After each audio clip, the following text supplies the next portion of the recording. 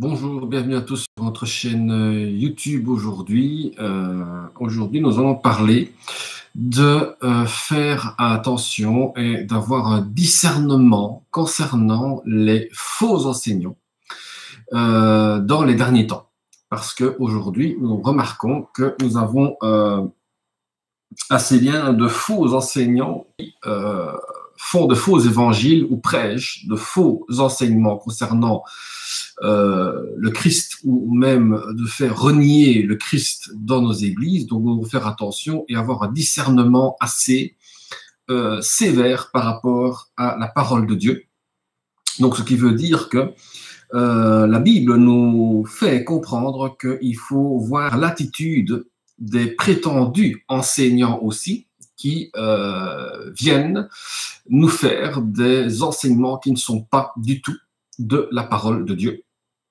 Donc, nous devons faire attention à ça. Donc, en fait, dans Jude euh, chapitre 1, donc Jude chapitre 1, verset 3, dit Bien-aimés, alors que j'avais le vif désir de vous écrire au sujet du salut qui nous est commun, j'ai été contraint de vous envoyer cette lettre afin de vous encourager à combattre pour la foi transmise au sein une fois pour toutes. Il s'est en effet glissé parmi vous certains hommes dont la condamnation est écrite depuis longtemps. Ces impies transforment la grâce de notre Dieu en débauche et renient Dieu. Le seul maître est notre Seigneur Jésus-Christ. Je veux vous rappeler, à vous qui le savez bien, que le Seigneur, après avoir sauvé le peuple en le faisant sortir d'Égypte, a fait ensuite mourir ceux qui s'étaient montrés incrédules. Quant aux anges qui n'ont pas conservé leur rang, mais ont abandonné leur, leur demeure propre, il les a enchaînés éternellement dans les ténèbres pour le jugement du grand jour. De même, Sodome et Gomorre et les villes voisines qui se sont livrées comme eux à l'immoralité sexuelle, à des relations contre nature, sont donnés en exemple et subissent la peine d'un feu éternel. Malgré cela, ces hommes adoptent une attitude semblable, entraînés par leur rêverie. Ils souillent leur corps, rejettent toute autorité et insulte les êtres glorieux. Alors qu'il, euh, lorsqu'il discutait avec le diable, il lui disputait le corps de Moïse, l'archange Michel n'a pas osé porter de jugement insultant contre lui, mais a dit que le Seigneur te punisse. Eux, par contre, parlent d'une manière insultante de ce qu'ils ne connaissent pas et se détruisent par tout ce qu'ils savent, distincts, comme des bêtes sans raison. Malheur à eux, car ils ont suivi la voie de Caïn, ils se sont jetés pour un salaire dans l'égarement de Balaam, ils se sont perdus en se révoltant comme Corée. Ce sont des écueils dans vos agapes, où ils festoient sans scrupule et ne prennent soin que d'eux-mêmes. Ce sont des nuages sans eau emportés par les vents, des arbres d'automne sans fruits, deux fois morts déracinés, des vagues euh, furieuses de la mer qui rejettent l'écume de leur impureté, des astres errants auxquels l'obscurité des ténèbres est réservée pour l'éternité. C'est aussi pour eux qu'Enoch, le septième depuis Adam, a prophétisé en ces termes. Voici que le Seigneur est venu avec ses saintes troupes pour exercer un jugement contre tous et pour faire rendre compte à tous les impies qui sont parmi eux, de tous les actes d'impiété qu'ils ont commis et de toutes les paroles dures qu'en pécheurs impies ils ont proféré contre lui.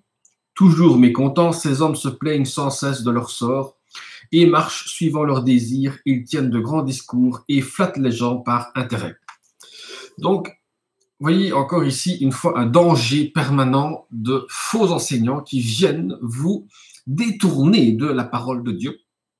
Et nous avons des avertissements que les démons sont déjà enchaînés pour le jugement éternel et pour le feu éternel. Mais ici, on voit encore une fois que dans la lettre de, Jude, on parle qu'il y a de l'immoralité sexuelle, des relations contre nature, donc ce qui veut dire qu'il y a des relations homosexuelles dans le membre de l'Église, et aussi que tous ces gens-là ont une peine qu'ils vont subir, c'est le feu éternel. Donc s'il y a une immoralité dans l'Église, on risque énormément de subir les flammes éternelles. Donc, il est temps et largement temps de se remettre en question et d'éviter que nous tombions dans le jugement du grand jour et aussi que nous tombions dans l'immoralité sexuelle, morale ou autre, et éviter d'avoir des relations contre nature que Dieu a demandé. Car la Bible dit bien dans l'Ancien Testament que tu ne coucheras pas avec un homme comme on couche avec une femme et tu ne coucheras pas avec une femme comme on couche avec un homme. La, Bible a été claire là-dessus. Donc, cette lettre de Jude traite de l'apostasie, donc l'acte de se détourner de la vérité divine pour embrasser des enseignements erronés. Donc, nous sommes arrivés à un point où les gens commencent à enseigner des enseignements qui ne sont plus de la pure doctrine de Dieu. Donc, Jude rappelle à ses lecteurs comment Dieu a jugé ceux qui, par le passé, ont abandonné la foi. Il les met en garde contre les prétendus enseignants, hein, probablement les, les gnostiques, qui essayaient de faire euh, une religion philosophique en bougeant la divinité du Christ. Et évidemment, euh, on se retrouve qu'on s'éloigne de la foi et on abandonne même la foi. Donc si on abandonne la foi en Jésus-Christ, nous risquons d'avoir de grands problèmes spirituels avec le Seigneur et on risque de se perdre euh, dans le feu éternel. Donc, ceux qui s'opposent à deux éléments fondamentaux du christianisme, c'est l'incarnation de Christ et l'appel à une éthique chrétienne. L'objectif de Jude est de combattre le renseignement et d'encourager ses lecteurs à vivre avec droiture, suivant la vraie doctrine. Aujourd'hui, nous sommes poussés à ce qu'on appelle à s'opposer à l'incarnation du Christ. On nous pousse à s'opposer, à ne pas croire que le Christ est notre sauveur. On nous fait croire à des doctrines qui ne sont plus dignes de la parole de Dieu. Nous devons faire attention à beaucoup de choses. Si on est en manque de lecture, en manque de connaissance de la parole de Dieu, nous risquons de dévier dans une mort spirituelle et nous risquons de devenir des religieux qui écoutent des sermons qui n'ont plus été inspirés par le Saint-Esprit. Donc, ce qui veut dire que nous devons faire attention à toutes les doctrines et enseignements que nous recevons chaque jour dans notre pensée sondez les Écritures, examinez les Écritures pour savoir si tel enseignement que vous avez reçu est bien de Dieu, est bien guidé par le Saint-Esprit. Car beaucoup vont renier le Christ et vont renier l'incarnation du Saint-Esprit. Jude, euh, qui était le frère de Jacques, l'un des responsables de l'Église primitive, tous deux sont donc les demi-frères de Jésus, ayant Marie pour mère et Joseph pour père. Donc Marie était la mère de Jésus et euh, donc ainsi que de, Jacques et Jude. Donc ici, Jude souligne le lien important qui existe entre une doctrine correcte et une vraie foi. Si nous avons une vraie doctrine, notre foi est fondée sur la base de la doctrine que nous avons reçue. Ce qui veut dire que si on vous enseigne le Christ mort, ressuscité entre les morts, qui est le Seigneur, vivant qui donne le salut éternel, nous sommes dans la bonne doctrine. Mais si on vous annonce une philosophie autre que l'évangile que nous avons reçu, ceci n'est plus de Dieu. Ceci vient du diable. Il faut faire attention à ça. Il faut bien discerner les, choses. Donc, euh, aucun compromis sur la vérité de la Bible n'est acceptable parce qu'elle nous présente la réalité à propos de Jésus et du salut. Elle est inspirée par Dieu et ne doit jamais être déformée, ni manipulée. Quand c'est le cas, nous ne savons plus clairement ce qui est bien ou mal, ou nous perdons de vue le seul chemin qui conduit à la vie éternelle. Ainsi donc, Jude estime nécessaire de ramener ses lecteurs sur le droit chemin en les appelant à revenir au fondement de leur foi. Alors seulement le, chemin du salut sera clair. Les saints, ce sont les croyants. Donc, ce qui veut dire qu'aujourd'hui, si nous euh, estimons être dans le droit chemin et que notre foi est basée sur le Christ, nous sommes saints, sanctifiés par le sang du Christ. Et nous pouvons marcher dans la sanctification. Donc, ne perdons pas le chemin et ne soyons pas manipulés pour déformer la parole de Dieu. Nous devons éviter la manipulation pour la déformation de la parole de Dieu. Donc, ce qui veut dire Comment combattre notre foi aujourd'hui? Parce qu'aujourd'hui, nous avons un combat, un combat spirituel. Nous devons combattre pour notre foi, combattre pour euh, la liberté, que nous ayons la connaissance de la parole de Dieu et pouvoir prêcher la parole de Dieu telle qu'elle doit être enseignée.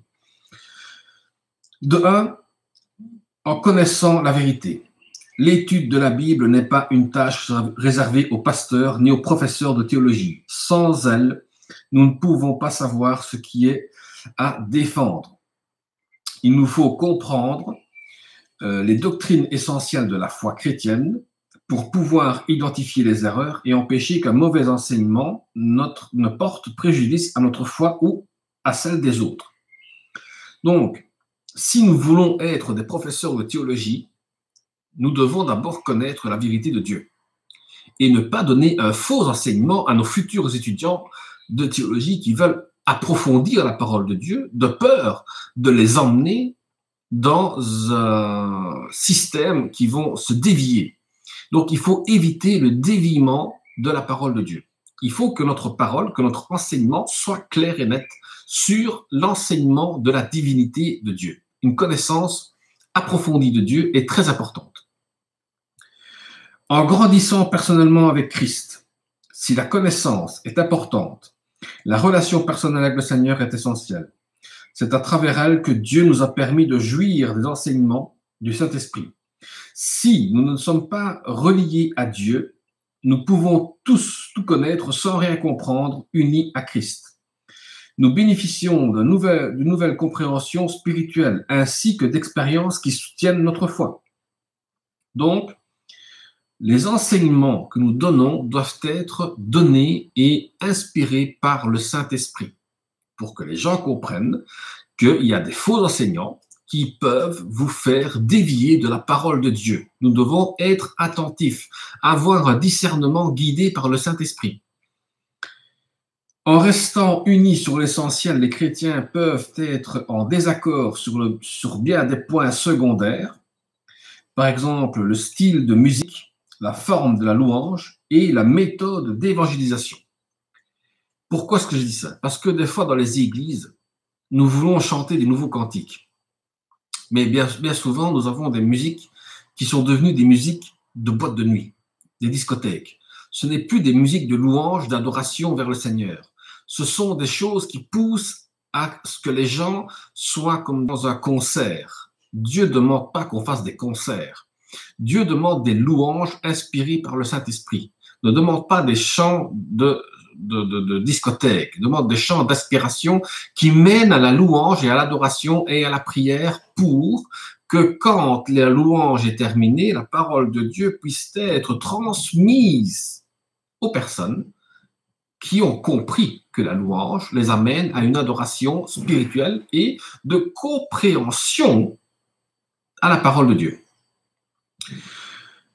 Donc, euh, même dans certains de nos églises aujourd'hui, hein, on parle de nos églises aujourd'hui maintenant, on trouve des prétendus enseignants qui se sont glissés parmi les croyants, qui déforment les enseignements de la Bible pour justifier leur propre opinion à eux.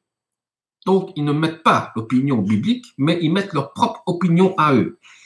Donc, ils déforment les enseignements de la Bible pour justifier leur opinion. Leur manière de vivre ou leur comportement sont corrompus. Et en agissant ainsi, ils obtiennent peut-être une liberté de faire ce qu'ils veulent, mais vont découvrir que les Écritures, c'est jouer avec le feu. Parce que Dieu va les juger et Dieu ne va pas tolérer et même ni même encourager le péché. Donc ceux qui veulent déformer la parole de Dieu en enseignant joue avec le feu. Ce qui veut dire qu'à un moment donné, Dieu va les juger sévèrement. Et ils risquent d'avoir un problème dans leur vie spirituelle et physique parce que Dieu ne va pas tolérer ni même excuser et encore moins encourager à commettre le péché dans l'Église.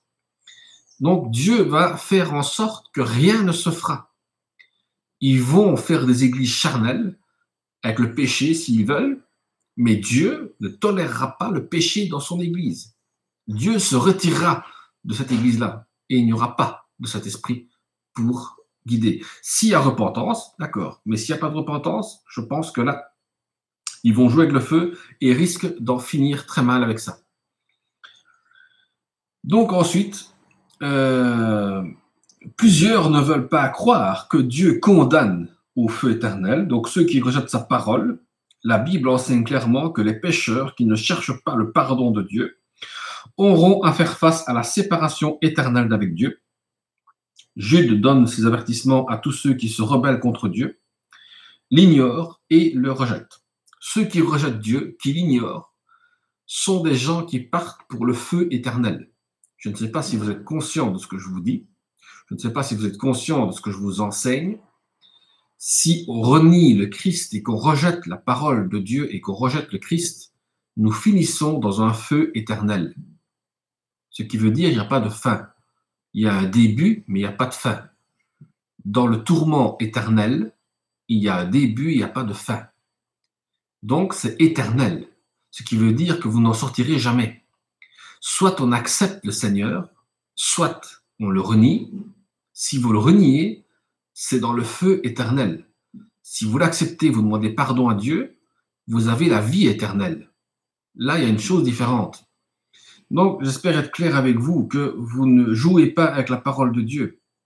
Et faites attention aux faux enseignants qui peuvent vous détourner de la parole de Dieu.